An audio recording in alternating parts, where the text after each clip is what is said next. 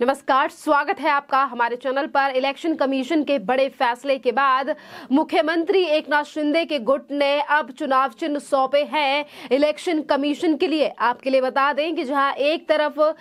दोनों पार्टियों, यानी कि दो धड़ों को लेकर फैसला सुना चुका है इलेक्शन कमीशन, जहाँ एक तरफ़ उद्धव ठाकरे के गुट को चुनाव चिन्ह और नाम दे दिया गया है इलेक्शन कमीशन की तरफ़ से तो वहीं दूसरी तरफ़ चुनाव चिन्ह आज सौंपे गए हैं। है सीएम एकनाथ शिंदे के गुट की तरफ़ से देखना अहम रहेगा कि इलेक्शन कमीशन आखिरकार किस पे लगाता है मोहर और कौन सा चुनाव चिन्ह दिया जाएगा। महाराष्ट्र के मुख्यमंत्री एकनाथ शिंदे के गुट को। इसी के साथ हम आपको ये भी बता दें कि एकनाथ शिंदे के गुट और उद्धव ठाकरे के गुट को अब नाम दे दिए गए हैं इलेक्शन कमीशन की तरफ़ से। आपको बता दें कि उद्धव ठाकरे के गुट को अब उद्धव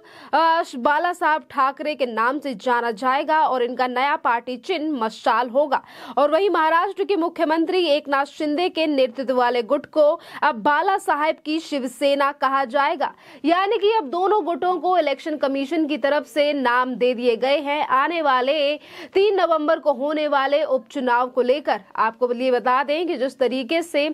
शिवसेना को लेकर ये जो दो धड़े हुए थे, इसके बाद लगातार समस्या बनी हुई थी कि दोनों गुटों को आखिरकार क्या नाम मिलेगा और क्या सजेशन जो है वो दिए जाएँगे इलेक्शन कमीशन की तरफ़ से। पहले ये मामला कोर्ट में गया और उसके बाद इलेक्शन कमीशन ने इस पूरे मामले पर सुनवाई करते हुए, जहाँ एक तरफ़ उद्धव ठाकरे को की जो शिवसेना है, उसे नाम दे दिया गया है और चुनाव चिन्ह भी मशाल दे दिया गया है। तो वहीं दूसरी तरफ़ शिंदे गुट ने भी इलेक्शन कमीशन को चुनाव चिन्ह के विकल्प में चमकता सूरज ढाल और तलवार और पीपल का पेड़ सौंपा है। यानी कि ये जो तीन चुनाव चिन्ह हैं, ये दिए गए हैं। चुनाव आयोग को देखना अहम रहेगा कि इन तीनों में से किस पर मोहर लगाता है चुनाव आयोग और किस मोहर को लेकर आने वाले उपचुनाव लड़ेगी। एक तरफ़ उद्धव ठाकरे की शिवसेना है तो वहीं दूसरी तरफ़ एकनाथ शिंदे की शिवसेना है। अब दोनों के ही नाम अलग कर दिए गए हैं। आपके लिए बता दें कि शनिवार को जब इस पूरे मामले पर सुनवाई हुई तो इलेक्शन कमीशन ने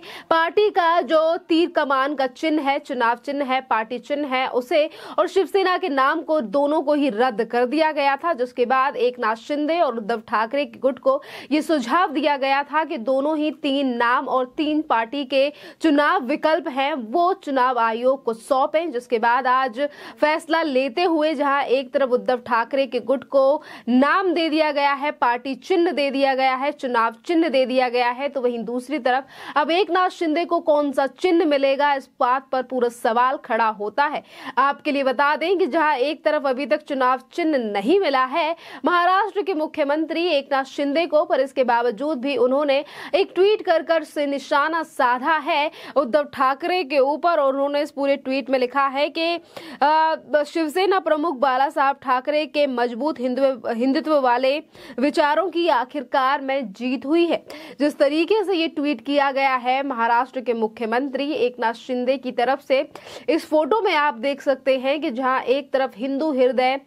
सम्राट बाला साहब ठाकरे बैठे हुए हैं और उन्हीं के पास बैठे हुए हैं। हैं एकनाथ शिंदे, उनका हाथ पकड़कर और इसी फ़ोटो को डालकर उन्होंने कहा है कि हिंदुत्व के विचारों की जीत हुई है बाला साहब ठाकरे की। यानी कि एक तरफ़ चुनाव चिन्ह नहीं मिला है और सिर्फ़ नाम मिलने के बाद ही चुनाव आयोग के इस बड़े फैसले के बाद ही ट्वीट कर कर उद्धव ठाकरे के ऊपर ये निशाना साधा गया है महाराष्ट्र के मुख्यमंत्री एकनाथ शिंदे की तरफ़ से। दो गुटों में शिवसेना पर आधार अधिकार की लड़ाई बीच चुनाव आयोग से पार्टी के नाम और चुनाव के चिन्ह पर रोक लगा दी गई तो वहाँ दोनों गुटों को नाम दे दिया गया है। शिवसेना के उद्धव ठाकरे धड़े को अब शिवसेना उद्धव बाला साहब ठाकरे के नाम से जाना जाएगा। इसका नया पार्टी चिन्ह मशाल होगा।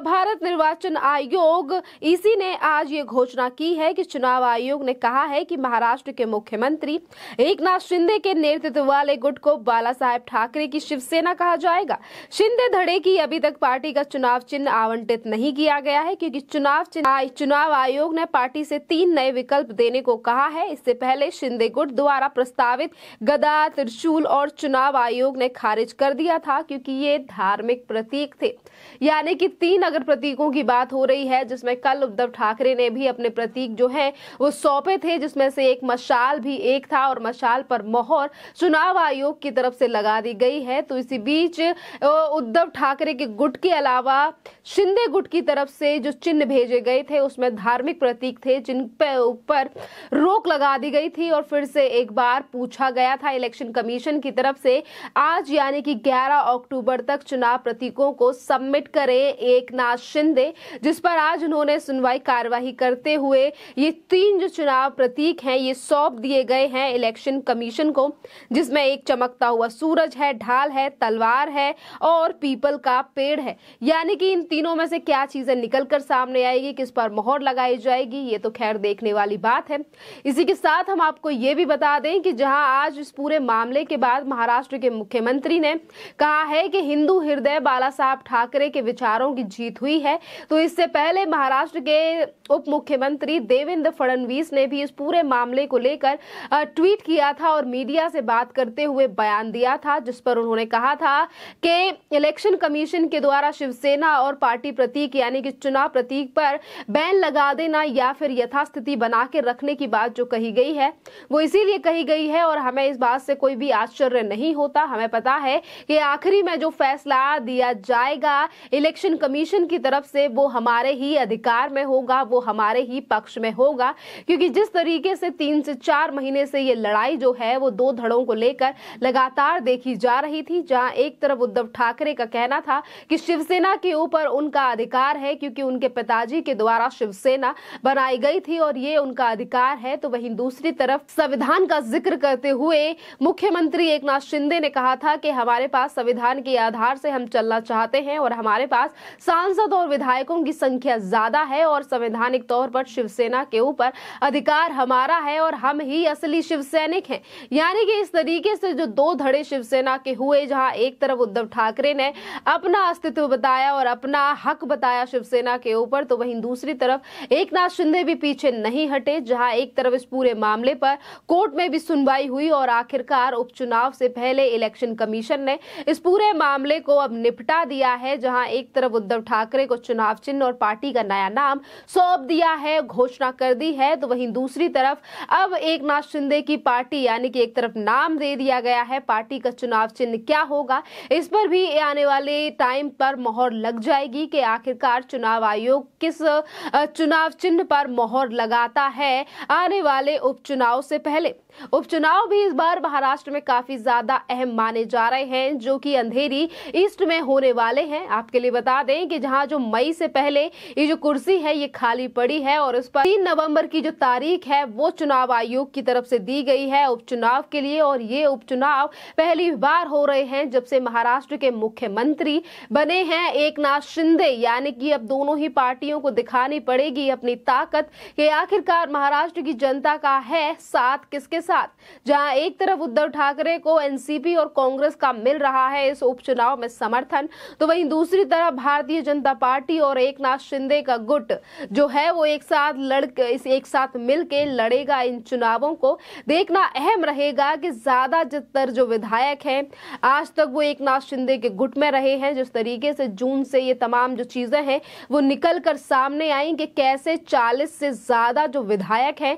वो उद्धव ठाकरे को छोड़कर एक शिंदे के साथ चले गए और उन्होंने महाराष्ट्र में भारतीय जनता पार्टी के साथ मिलकर बनाई है ये सरकार। और ये मजबूती कितनी ये सरकार जो है वो कितनी ज़्यादा मज़बूत है, ये आने वाले उपचुनाव में पता चलेगा। यानी कि जिस तरीके से हमने तमाम और भी चीज़ें देखी हैं, बीएमसी के चुनाव भी आने वाले समय में आने वाले हैं और इसको लेकर भी लगातार एकनाथ शिंदे ने कहा है कि इस बार वो फिर से एक बार काबिज होंगे बीएमसी की कुर्सी पर। तो वहीं दूसरी तरफ़ बीजेपी का कहना है कि उद्धव ठाकरे को हम इस गुद्दी से हटाकर रहेंगे, क्योंकि शिवसेना ने किया है 25 से ज़्यादा सालों तक बीएमसी पर राज। खैर, इस पूरे मामले पर आपकी जो भी राय हो, आप हमें कमेंट करके ज़रूर बताइए। धन्यवाद।